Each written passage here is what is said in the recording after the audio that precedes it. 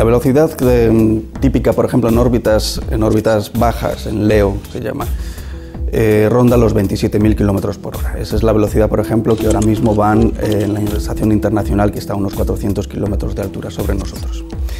Sin embargo, el récord de velocidad lo ostenta, curiosamente, eh, la tripulación del Apolo 10 en el 1969. Ellos hicieron una reentrada o, o un reboost hacia la Tierra que puso la nave a una velocidad de 40.000 km por hora. Los astronautas o cosmonautas, eh, creo que el récord lo ostenta el Apolo 13, la famosa película de Apolo 13, en la cual llegaron a orbitar alrededor de la Luna por la parte oculta. Llegaron a estar tan cerca como de 250 kilómetros de la superficie lunar por el otro extremo y eso sumó un total de 400.000 kilómetros desde la Tierra y ese ha sido el récord que se ostenta hoy en día, en 1970.